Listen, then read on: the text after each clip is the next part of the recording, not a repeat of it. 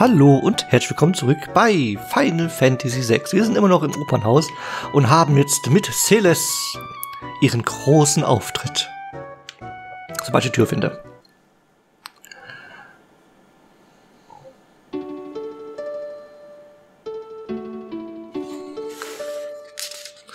Die westliche Armee zerschmettert wie Marias Schloss in die Hände Ostenlandes. Zur Hochzeit mit dem Besatzer Prinz Ralse gezwungen, schlägt Marias Herz auch immer noch für Draco. Draco Malfoy? Der nächste Vers lautet Mein Geliebter. Mein Geliebter, gingst hinfort du in ein unerreichbar Land. Wie wohl schworen, auf Ewigkeit treu, soll unsere Liebe stets währen. In trostlosen, dunklen Stunden gleit mein Blick zum Firmament. Der Stern, der dort steht, strahlt, nie vergeht, ist deiner Herzlichkeit blind. Liebe, soll ich opfern, einem kalt erstarrten Herz. Was bleibt mir zu tun? Oh, sag es mir schon. Ich hab den Finger, zeig dein.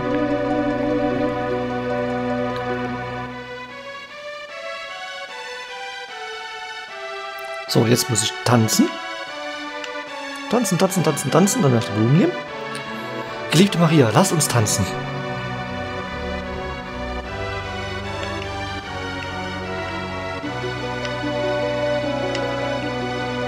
So, ich laufe ihm jetzt nur nach. Oh, welche Freude. Nehme ich die Blumen, gehe die Treppen hoch und werfe sie vom Balkon. So. Das war's. Das war der große Auftritt. Hallo, Blumen werfen. Sollst die werfen? Sei gepriesen. Das stand nicht. Mein Geliebter, stets weilst du in meinem Herz. Mit kreisendem Schritt mein Kummer nahmst mit. Von Sorge bin ich nun frei. Deine ruhige, sanfte Stimme raunet tröstend in mein Ohr. Auf ewig will ich ihr lauschen und dich erwarten, wie ich es schwor.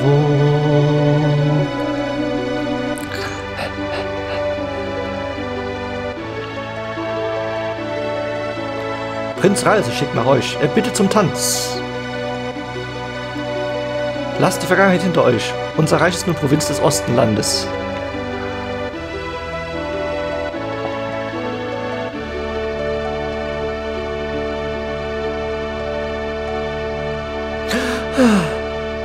So, äh, sollten irgendwelche Ohren bluten, ich äh, entschuldige mich dafür. Ich bin kein Tenor.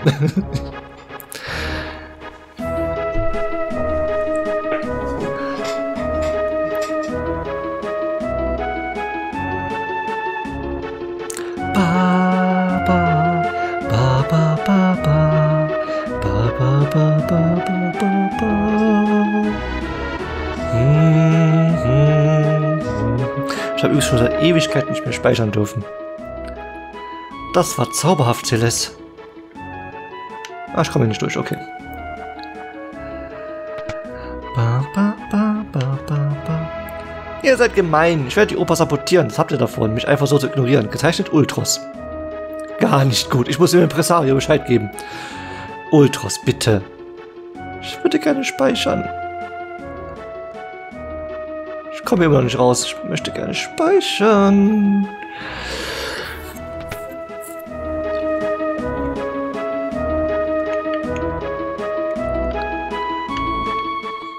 Was sagt ihr?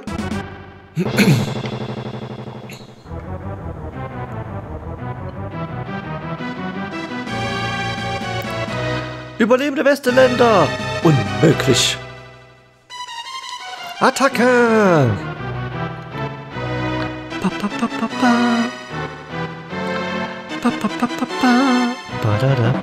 Da, da, da. Da, da, da. Haltet ein!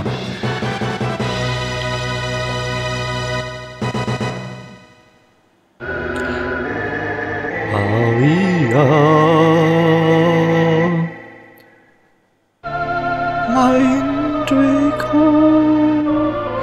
Diese Stund, wie glaubte ich an sie?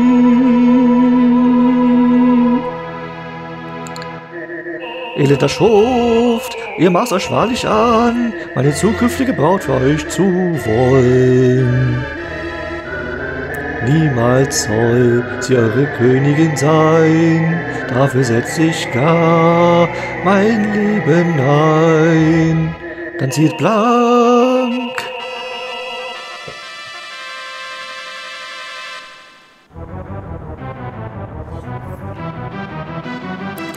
Wie aber davon aus, die Aufführung zu stören? Etwa damit? ich werde Old Maria eine schöne Beule verpassen. Oh, ist das schwerer als ich gedacht hatte. Das dauert mindestens fünf Minuten. Diese fünf Minuten haben wir jetzt, um dahin zu laufen. Diese schleimige Qualle. Schnell, der Bühnenmeister rechts mir sicher zu helfen. Ist so gut wie erledigt. Wir haben fünf Minuten Zeit. Lauf, lauf, lauf, lauf, lauf. Schneller. Ich bleib überall dran hängen wegen der Steudiefel. Hä, hä, hä. Hallo, Bühnenmeister. Na? Ihr kommt auf Geheiß des Imperialschool, rechten Schalter nach unten. Kommt bloß auf die etwas anderes anzufassen. Den rechten Schalter nach unten. Und jetzt? Soll jetzt... Ja. Hä? Hä? Hä? Jetzt geht ins linke Zimmer.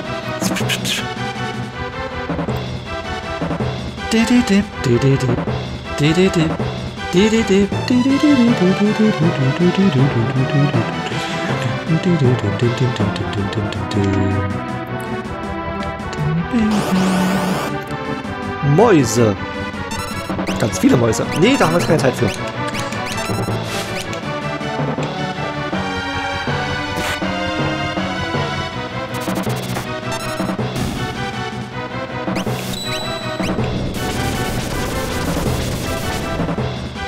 Schon schneller.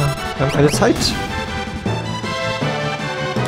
Ja, ja, Magie. Schön. Stufeaufstieg. Das ist toll. Gehen Sie weg.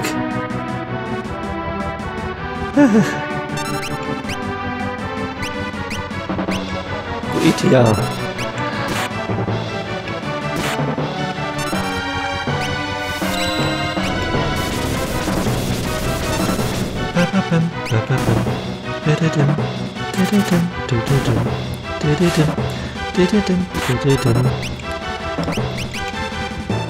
Drei Minuten 22. Sabine lässt Schlaf, das ist schön. Ähm ich habe kein Heil dabei. Ich habe kein Heil dabei. Ah.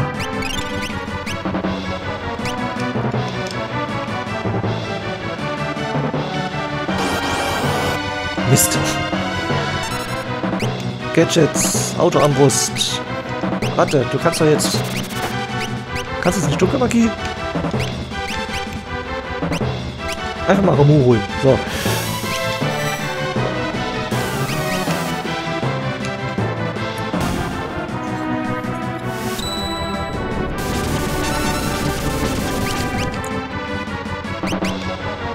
Was?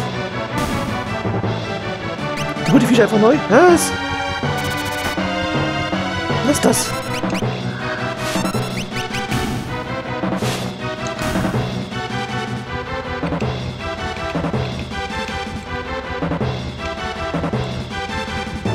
Da lang. Könnt ihr mal bitte weggehen? Danke. Mist, verdammt. Huch. Ah.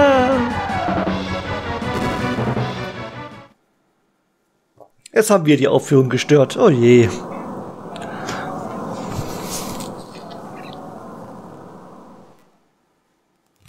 Oh, wie furchtbar.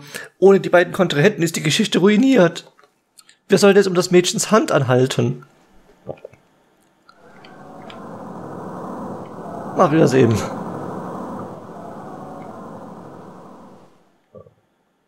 Hallo? Darf ich mich bitte bewegen? Ausrufezeichen.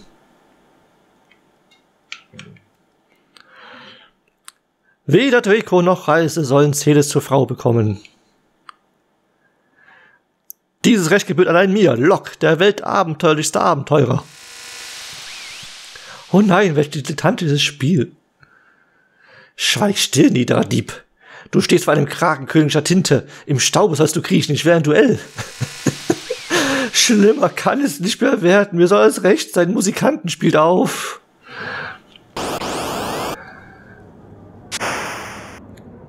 Hallihallo, da bin ich wieder. Äh, kannst du bitte wieder gehen? Ist lange her, was? Sicher konntest du kaum erwarten. Ja, ich äh, wusste gar nicht, was ich ohne dich nur anstellen soll. Sag mal, ist dein Phönix-Tanz eigentlich Feuerschaden?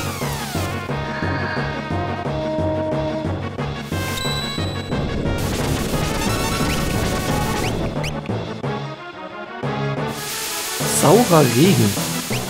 Ich habe das Gefühl, dass ich mich gleich erstmal heilen muss.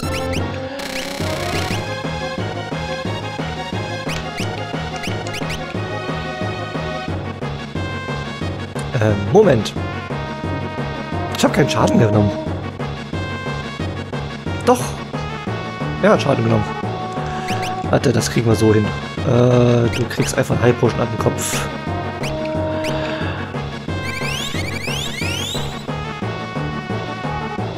Phönix-Tanz.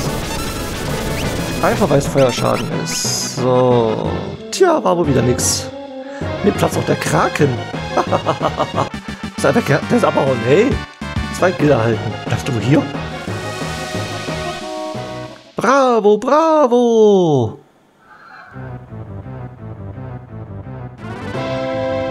Welch amüsantes Spiel! Ach, du bist das. Es ist Setzer. Ein Gentleman steht zu seinem Wort. Maria ist mein. Hilfe! Welche überraschende Wendung! Maria, die Lok schon sicher an seinen Abend glaubte, wurde von den Luftpiraten Setzer entführt. Wo mag ihr Schicksal sie hinführen? Dieses und mehr erleben sie in einem turbulenten zweiten Akt. Ähm, ich glaube, der Impresario hat auch langsam den Verstand verloren.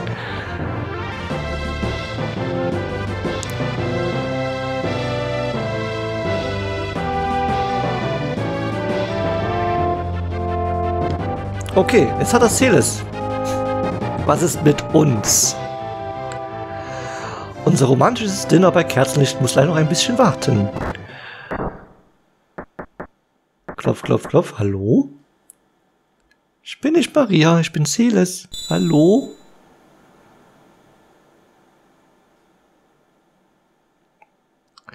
Ach, selbst das war geplant. Ich verstehe. Aha. So, so. Was für ein Auftritt. Als falsche Schauspielerin bist du unschlagbar. Sehr komisch. Aber der zweite Akt liegt noch vor uns, das große Finale. Wo steckt Setzer? Das sollte gleich wieder hier sein. Da ist er auch schon. Wer seid ihr denn? Und äh, du, du bist gar nicht Maria. Setzer, du musst uns helfen. Wir brauchen dein Schiff nur nach Vektor. Da du nicht Maria bist, interessiere mich das herzlich wenig. Warte, ich höre, dein Schiff sei das Beste der Welt. Und du der verschlagenste Spieler. Ich bin der König Figaros. Hilfst du uns, soll deine Belohnung unermesslich sein. Ich kann viel ermessen. Ist ja schon gut. Dann lass uns Ganz langsam. Noch habe ich euch nichts versprochen.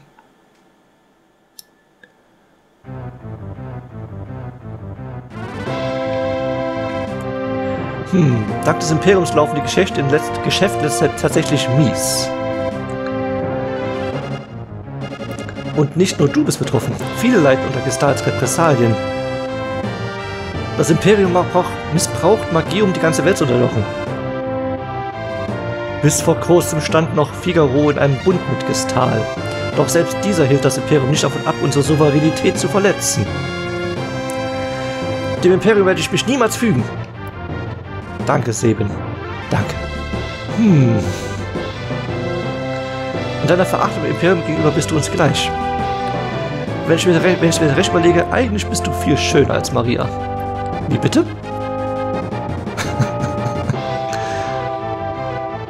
Also gut, ich werde euch helfen, aber nur unter einer Bedingung. Du holtest Celeste, wirst meine Frau. Jetzt aber halblang, was bildest du eigentlich ein? Einverstanden. Es... Aha, sie ist mein. Doch will, ich, will auch ich eine Bedingung stellen.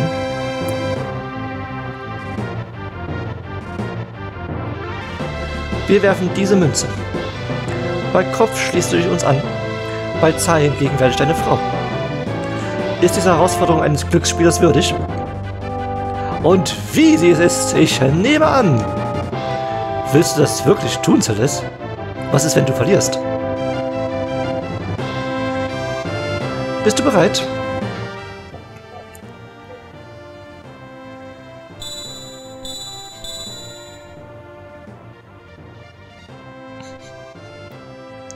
Kopf, ich habe gewonnen. Wir nehmen dein nobles Hilfsangebot dankend an. Du spielst an interessanten Regeln. Seit wann sind Münzen mit zwei Kopfseiten legales Zahlungsmittel? Diese Münze, sie war gezinkt, Edgar? Was wäre ein gutes Spiel ohne Betrug, mein lieber Setzer? Ah, diese Durchtriebenheit verdient meinen Respekt. Du gefällst mir mehr und mehr. Gut, ich will euch helfen. Ein Spiel auf Leben und Tod gegen das Imperium? Wie ich diesen Nervenkitzel vermisste. Mein Leben ist ein Chaton und diesen setze ich auf euch. Wir haben ein Luftschiff. Wir können es jetzt frei bewegen.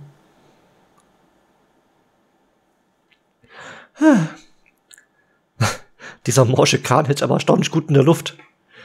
Keine Angst, dass er abschmiert. Wenn Dinge fallen, dann fallen sie. Das Leben ist ein einziges Spiel und jeden Tag erbringen wir unseren Einsatz von neuem. Wir pokern etwas hoch, wenn du mich fragst. Dieses riesige Schiff würde den Imperialen nicht entgehen. Wir sollten etwas abseits landen. Ein weiser Vorschlag. Ich werde an Bord warten und das Schiff abflugbereit halten. Ja, bitte warte an Bord. Oh, da hinten sind Lichter. Und es ist nicht Horst. Ah, ah, ah. Entschuldigung. Das, nee. Nein, nein. Der war richtig schlecht. Das ist also Vektor. Okay. Sind wir denn jetzt? Aalbruck. Unterwirft im Imperium. Äh, nee. Jede, die gegen das Imperium erheben, werden wegen Hochverrats zum Tode verurteilt. Ah, das ist schön. Müssen wir erstmal haben. Ich brauche mal ein paar neue High Potions.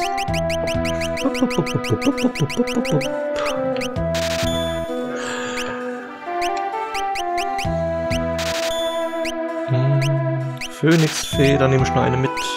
Zelte. Eins sollte reichen. So, jetzt habe ich kaum noch Geld. Die Stadt sieht ein bisschen zerstört aus. Ich glaube, die haben sich äh, nicht unterworfen. Also wollen sich unterwerfen. Dunkelklaue. Bastardschwert. Gleich zweimal. Jetzt habe ich gar kein Geld mehr.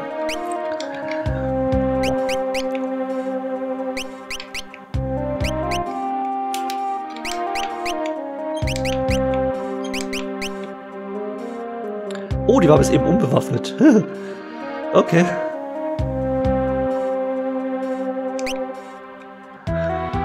Okay, damit hat sie ihr Schwert wieder zurück und damit kann sie also auch wieder... Oh, ein Ether. Ähm, Ich bin Waffenkundler und kenne mich aus. Alte Schriften besagen, dass während des Magierkriegs vor tausend Jahren zwei Kriegswerkzeuge existierten. Die Ultima-Waffe gerufen wurden, ein Schwert, das Klinge von der Kraft eines Krieges beseelt werden konnte und ein Dämon, der geboren war, die Welt zu zerstören. Ah, Ultima. Oh, da muss ich auch noch gucken, wie ich an Ultima rankomme. Das weiß ich gar nicht mehr. Die Läden im östlichen Zen und im westlichen Maranda führen gar vortreffliche Waffen und Rüstungen. Aha. Maranda, ist das nicht die Heimat, Heimatdorf von irgendjemandem von mir? Leer. Alles leer. Bup, bup, bup, bup, bup. Kann ich mir alles nicht mehr leisten und ich brauch's auch nicht.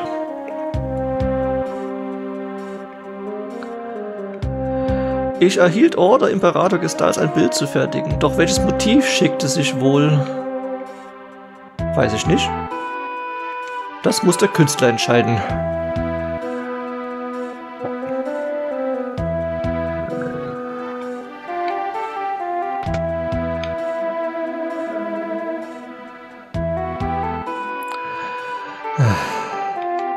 ist immer wieder lustig. Der Straße vor meiner Wohnung ist 30 erlaubt. Und trotzdem hörst du manchmal Leute, die hier mit äh, wahrscheinlich 100 Sachen hier durchpesen. Oder einfach nur einen sehr lauten Motor haben. Vektor, die Hauptstadt des Imperiums, liegt genau in der Mitte dieses Kontinents. Aha. Könntest du bitte zur Seite gehen? Ich muss da hinten lang. Danke. Ja.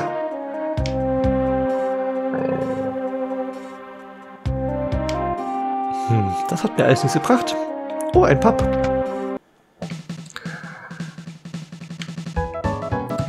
Die Imperialen führen sich auf, als der Laden ihnen. Eine Schande ist das. Wie unfair. Die ollen Blechbüchsen können hier tun lassen, was sie wollen. Sauber, Mädels. Weiter so. Oh Gott. Hallo, Schätzchen. Ja, selbe Text, selbe Text, selbe Text. Okay, alles klar. Hast du es verloren? Hau ab. Uiuiui, ich sehe Sterne von nah und ferne. Rosa Elefanten und... Hi. Mit Armschlucker gebe ich nicht ab. Pa. Ähm, okay, wir man trotzdem das Gill. Ja, ich weiß, aber... Hä? Wir sind doch keine armen Schlucker. Ich bitte Sie, werte Dame.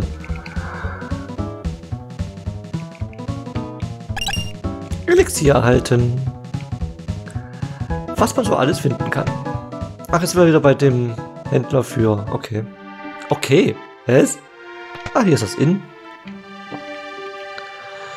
Eine Übernachtung kostet 300 Gil. Wollt ihr rasten? Äh, ja. Das wollen wir tatsächlich, denn ich muss auch eine Pause machen. Ich hoffe mal, es hat euch bis hierhin gefallen. Falls ja, sehen wir uns morgen wieder. Bis dahin, ciao, ciao.